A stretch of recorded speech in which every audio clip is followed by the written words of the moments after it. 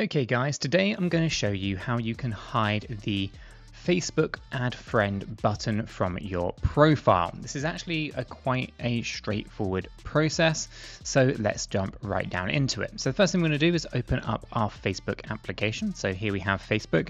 We're going to go ahead and tap on the bottom right hand corner where it says menu. We're going to give that a click. We're then going to be able to see what um, our profile looks like if we click on the three dots here and then go view as. By doing this, it will show you what your current profile looks like. So here you can see that we have the add friend button and a message button. Okay, so we're going to come back out of here and what we're going to do is we are going to basically come over to our bottom menu option once again. We're going to scroll down until we find settings. We're going to click settings. From here, we're going to scroll down until we find the audience and visibility area. From here, the first thing we want to do is where it says how people can find and contact you. It's the second option here. We're going to give that a click.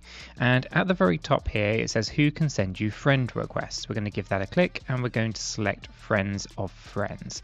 And we're going to click save.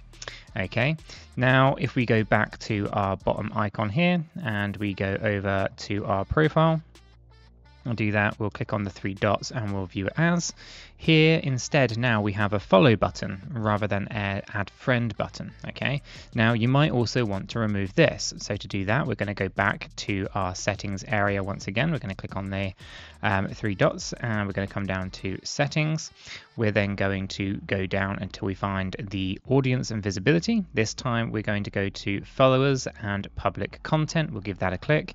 And then here it will be who can see your followers on your timeline, uh, who can see the people, pages, and lists that you follow, uh, and all of these settings. So we're going to go is we're going to click on this top one, which is actually hiding just at the top here, which is who can follow me. And this is currently set to public. We give that a click, we can go ahead and just say friends. We'll give that a save. This time we'll come back to our profile. Again, we'll click that. We'll go to the three dots, we'll click view as, and this time you'll only have the ability here for people to send you messages.